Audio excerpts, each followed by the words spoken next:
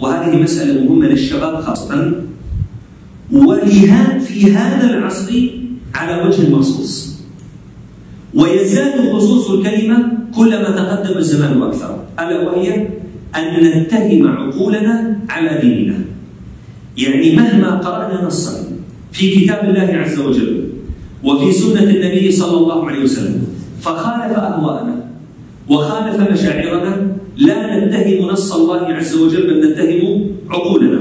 وكما يعني يذكر الإمام الأصفهاني قال العقل الشرع سائس والعقل تابع.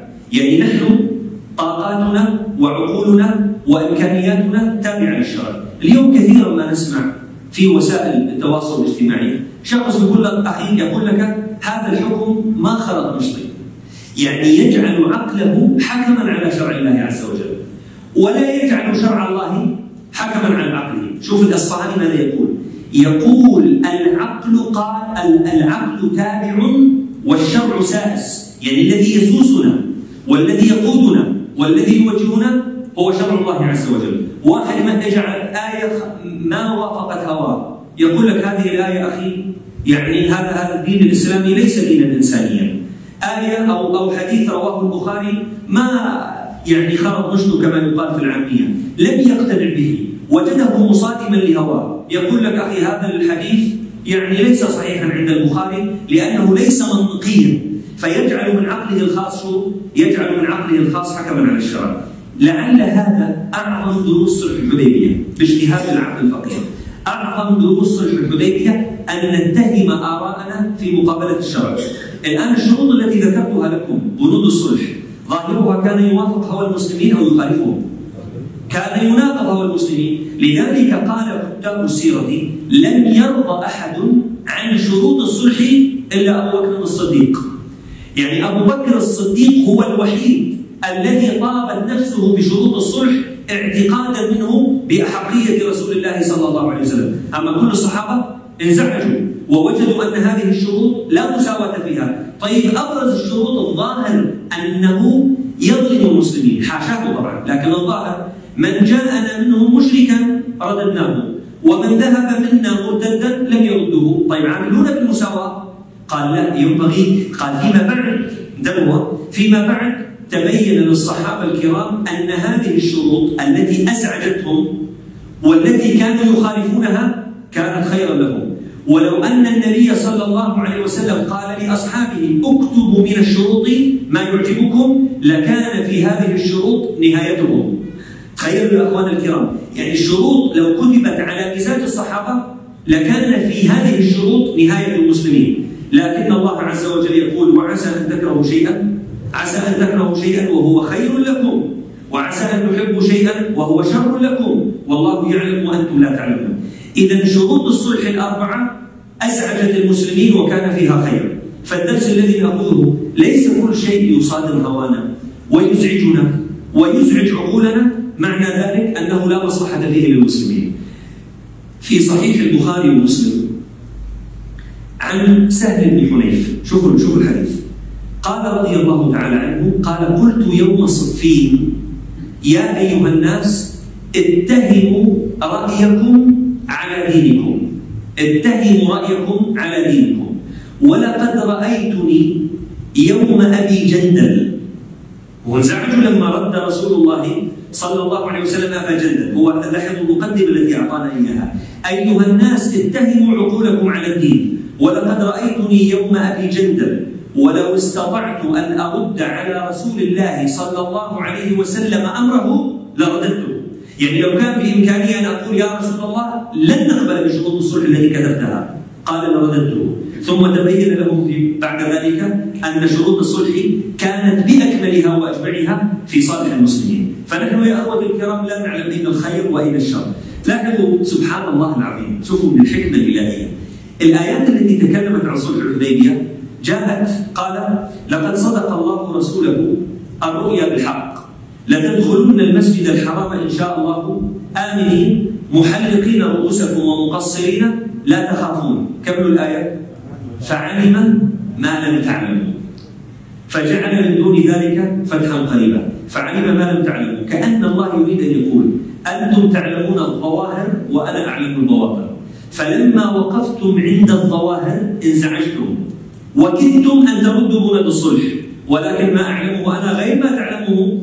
أنتم؟ قال فعلم ما لم تعلموا من الخير الذي كان في الظاهر شرا وقاسيا عليكم ولكنه كان في باطنه كان خيرا عليكم. لذلك ختمت الآية قال فعلم ما لم تعلموا فجعل من دون ذلك فتحا قريبا. الفتح القريب على رأي كثير من أهل العلم هو هدنة الحديبية. يعني هذا الإزعاج الذي أزعجكم وهذه الشروط التي ما وافقت هواكم سماها الله عز وجل شو؟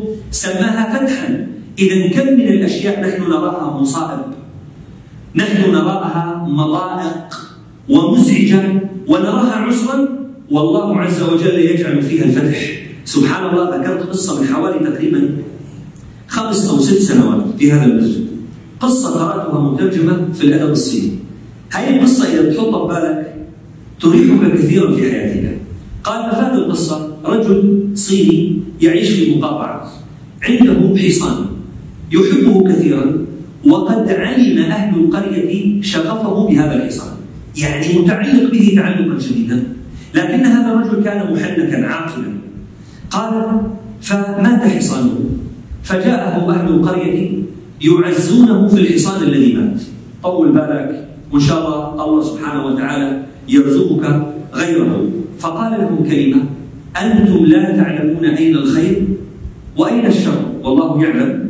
وأنتم لا تعلمون يعني ما الذي يدريكم أن موت الحصان خير لي؟ هو في الظاهر مزعج لي. لكن قال لهم أنتم لا تعلمون أين الخير؟ عفوا مو مات حصانه هرب حصانه هرب تركه وهرب. فجاءه أهل القرية يعزونه. قال أنتم لا تعلمون أين الخير وأين الشر؟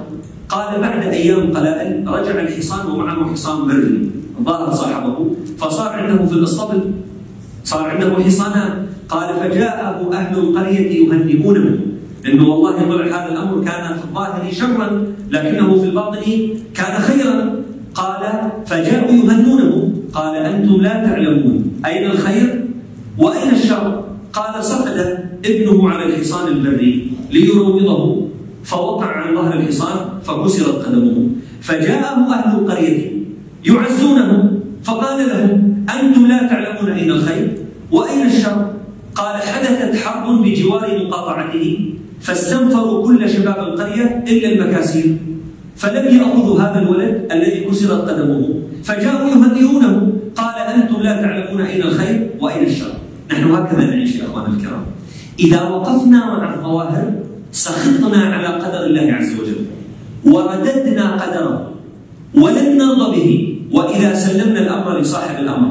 ولو أزعجنا لابد أن نسأل الله يقينا يخفف علينا مصائب الدنيا. مصائب الدنيا اليوم كثيرة. شوفوا دعاء النبي صلى الله عليه وسلم. اللهم اقسم لنا من خشيتك ما تحول به بيننا وبين معصيتك ومن طاعتك ما تبلغنا به جنتك ومن اليقين ما تهون به علينا مصائب الدنيا. إذا كلما ارتفع معدل اليقين في نفوسنا هانت علينا مصائب الدنيا. القرآن الكريم خمس مرات هذه الآية ذكرت في القرآن. والله يعلم وأنتم لا تعلمون. يعني أنت إنسان كنت تعمل مثلا في شركة مرتبها عالي الراتب عالي تمام؟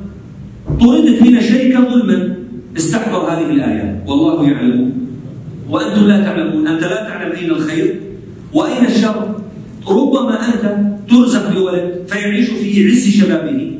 فجأة يعاق هذا الولد يموت هذا الولد. استحضر قول الله عز وجل والله يعلم وأنتم لا تعلمون. لذلك يقول علماؤنا أوفى العبادات شو أعلى العبادات؟ شو تتوقعوا؟ أوفى عبادات. قال أوفى العبادات رضا العقل بالمقادير. أعلى عبادة. أن يرضى الإنسان بما قدره الله عز وجل. يعيش سعيدا. لذلك من أركان الإيمان كالإيمان بالله أن تؤمن بالله.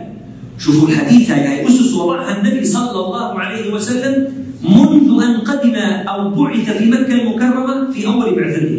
قال أن تؤمن بالله وملائكته وكتبه ورسله والقدر خيره وشره من الله؟ قاعدة وضعها صلى الله عليه وسلم في بداية مبعثه عليه الصلاة والسلام. لذلك سهل بن حنيف يقول أيها الناس اتهموا رأيكم على دينكم. ولقد رأيتني يوم أبي جندل حديث الصحيحين. ولو استطعت أن أرد على رسول الله صلى الله عليه وسلم أمره لرددته.